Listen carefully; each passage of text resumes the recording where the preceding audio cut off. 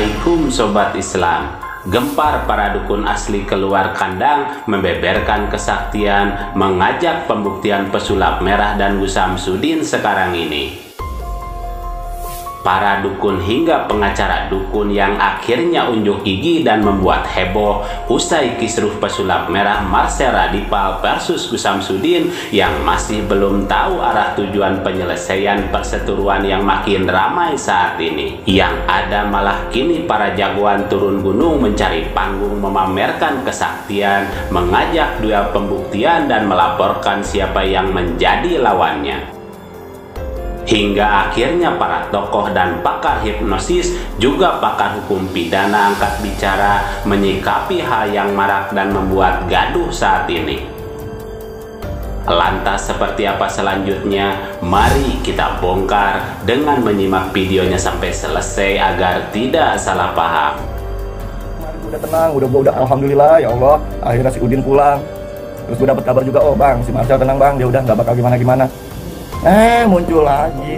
Kesalahan gue gue wah lucu lo tau gak Inilah babak baru usai perseteruan Bu Samsudin dan pesulap merah Marcel Radipa yang makin ke sini makin ramai. Hingga bermunculan para dukun asli hingga pengacara dukun ikut hadir unjuk gigi pamer kekebalan hingga membeberkan siapa mereka sebenarnya datang dari persatuan dukun yang murka usai kisruhnya pesulap merah dan Gusam Sudin hingga menyampaikan bahwa Marcel juga adalah seorang dukun yang di mana mempunyai sertifikat Reiki Asia yaitu sertifikat paranormal yang disahkan oleh badan hukum yang artinya Marcel adalah juga dukun profesional tingkat Asia saat ini. Hingga menyerukan ke Marcel bahwa ribuan umat akan menyerbu ketika menyepelekan profesi dukun kata mereka.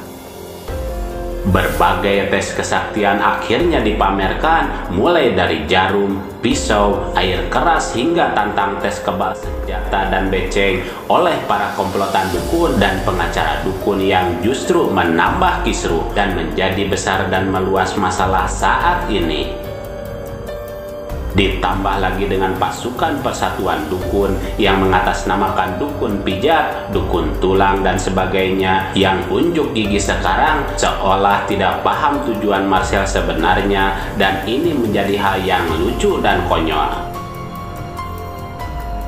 Di sini jelas ada yang membesar-besarkan masalah bahwa yang di awal seorang Marcel hanya ingin membuat pembuktian. Dan kalau tidak bisa ya sudah tetapi dibuat drama panjang dan belum tuntas sampai saat ini. Dan dukun yang dimaksud Marcel jelas adalah dukun yang sok tahu soal goib. Dan yang menipulah yang dia bongkar bukan dukun urut, dukun bayi dan lain sejenisnya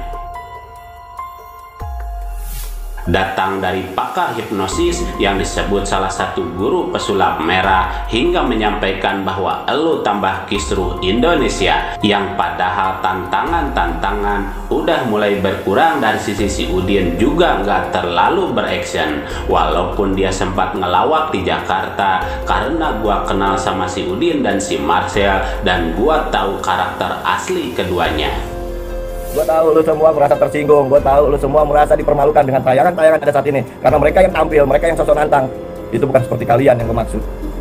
Mereka cuma mengatasnamakan profesi kalian, mereka cuma mengatasnamakan seakan-akan mewakili kalian semua, padahal mereka justru malah mempertontonkan kebodohan.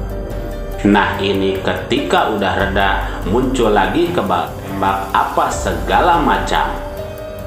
Bahwa undang-undang di negeri kita itu udah jelas banget. Jangan bentar-bentar ayo timbak bukan menjaga kedamaian malah seakan senpi itu gampangan banget buat-buat bahan mainan. Cuman karena pengen dirasa hebat lucu buat gua Kenapa gue jadi yang puyeng? Lu yang berebut terkenal, lu yang padahal berebut tenar. Gue yang ditelepon sana sini hingga sepuh-sepuh nelpon, hingga para tokoh minta Bang Awai untuk mendamaikan dan bilang, Bang kalau bukan abang yang turun ini nggak akan damai, kata Bang Awai. Juga pesan dari pakar hukum pidana Bang Beni agar semua saling menahan diri dan gak usah ada pembuktian-pembuktian yang takutnya terjadi sesuatu sehingga celaka atau meninggal dunia. Maka akan menjadi masalah apalagi kalau Anda sendiri yang mengetes kekebalan orang itu dan ternyata tidak kebal maka Anda yang akan dipidana penganiayaan. Meskipun dia mengaku kebal kata pakar hukum pidana Bang Beni dari dari Yayasan Elang Maut Indonesia. Nah, jadi saran saya ya udahlah nggak usah pembuktian-pembuktian takutnya terjadi sesuatu sehingga celaka atau luka atau meninggal dunia menjadi masalah ya teman-teman ya. Apalagi kalau anda yang mengetes, ya, anda tes sendiri dia, dia mengaku kebal, lalu anda tes ternyata nggak kebal, anda kena penganiayaan. Tapi dia mengaku kebal bang, meskipun dia mengaku kebal, kalau anda mengetes dia membacoknya atau menembaknya, anda tetap akan dipidana mudah-mudahan menjadi bahan pertimbangan kita ya agar tidak sembarangan melakukan sesuatu ya. Pikirkan untung ruginya oke? Okay? mereka cuma mengatasnamakan profesi kalian mereka cuma mengatasnamakan seakan-akan mewakili kalian semua padahal mereka justru malah mempertontonkan kebodohan. Ayo rapat rapatin barisan.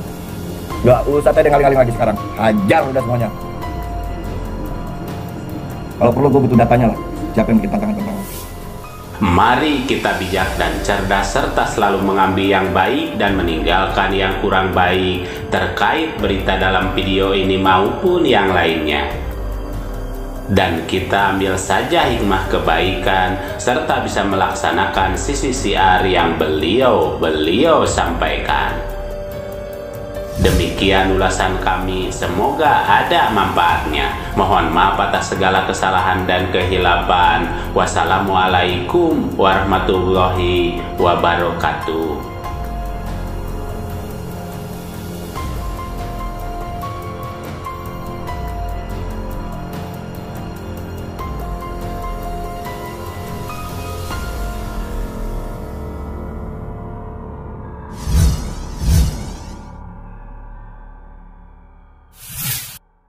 Harta yang kita cari pagi, petang, siang, dan malam itu belum tentu kita nikmati. Maka salah satu investasi akhirat sampai ke alam barzah kita adalah pembangunan pondok pesantren. Di antaranya yang terpercaya, pembangunan pondok pesantren Gunung Pandak Malang. Rekening wakafnya BRI 1174 01 00554 560 atas nama Pondok Pesantren Gunung Pandak Jangan lupa kontak konfirmasinya 0822 2847 0705. Berkeriskinya anaknya anak soleh soleha menjadi penghafal Al-Quran dan negeri ini menjadi beldatun toyi batun warabun wafur. Pahala terus mengalir meski umur kita telah berakhir.